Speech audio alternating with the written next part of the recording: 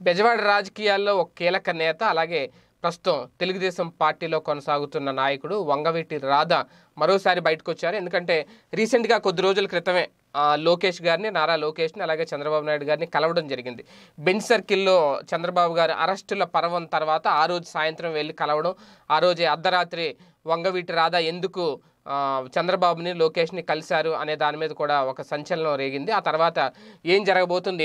ఎందుకంటే ఆయన వాస్తవానికి తెలుగుదేశం పార్టీలో ఉన్న చాలా రోజులుగా ఎలాంటి కార్యకలాపాల్లోనూ పాల్గొనకపోవడం ఎలాంటి కార్యక్రమాల్లోనూ పాల్గొనకపోవడం ఎప్పటి నుంచో దాదాపు ఇరవై ఐదు రోజులు అప్పటికే ఇరవై ఐదు రోజుల నుంచి అమరావతి రైతులు ఆందోళన చేస్తున్నా తెలుగుదేశం పార్టీ మద్దతు ఇస్తున్నా ఏ రోజు ఆయన అక్కడికి వెళ్ళకపోవడం సంఘీభావం తెలపకపోవడంతో ఆయన టాపిక్కి అందరూ మర్చిపోయిన సందర్భం. ఒకేసారి ఎప్పుడైతే లోకేష్ గారిని చంద్రబాబుని కలిశారో మళ్ళీ ఒక్కసారిగా రాజకీయ తెర మీదకి వంగవీటి రాధా వచ్చారు అనే ఒక సంకేతం వచ్చింది. అయితే ఆ కలయిక తర్వాత కూడా కొన్ని రోజులు గ్యాప్ తీసుకున్నారు.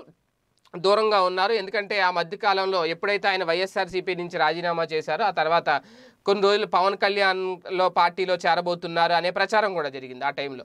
సో ఆయన ఏ పార్టీలోకి వెళ్తారు అనే ఒక మౌనంగా ఉండిపోవడంతో తెలుగుదేశం పార్టీని కూడా వీడిపోయి ఇంకా జనసేనలోకి వెళ్ళిపోబోతున్నారనే ప్రచారం కూడా అప్పట్లో జరిగింది. దాన్ని కూడా ఆయన ఎక్కడ ఖండించిన సందర్భం లేదు.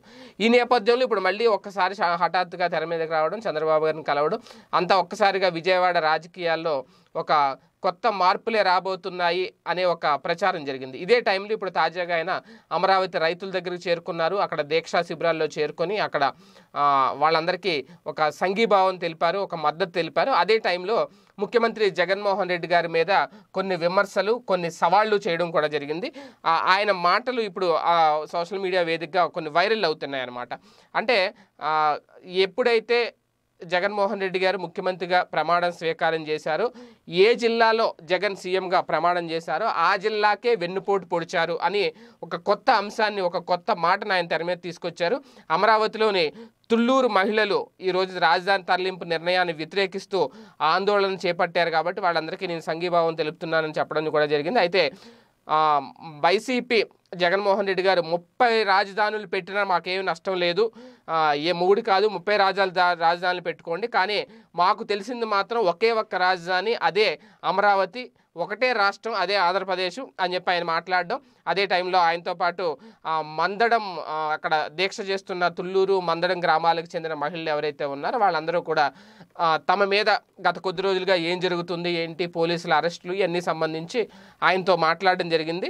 వాళ్ళకి వివరించడం జరిగింది. దీంతో అయితే ఓవరాల్గా ఏంటి అంటే రోజు రోజుకి అమరావతి రైతులకు మద్దతు పెరుగుతుంది మొత్తం.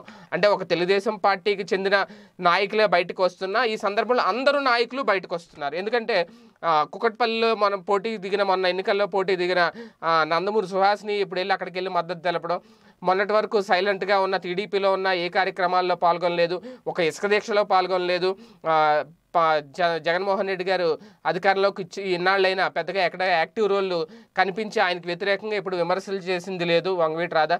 కానీ ఇప్పుడు సడన్గా తెర మీదకి రావడం రైతుల తరపున సంఘీభావం తెలిపి రైతులకు మద్దతు తెలపడం అదే టైంలో జగన్మోహన్ రెడ్డి గారి మీద విమర్శలు చేయడం ఇదంతా ఇప్పుడు ఒక హాట్ టాపిక్గా మారింది. చూద్దాం ఈ పెరుగుతున్న మద్దతు ఎంతవరకు కలిసి వస్తుంది? దీనికి సంబంధించి ప్రభుత్వం ఎలాంటి నిర్ణయం తీసుకుంటుంది అనేది వేచి చూడాలి. స్టేట్యూన్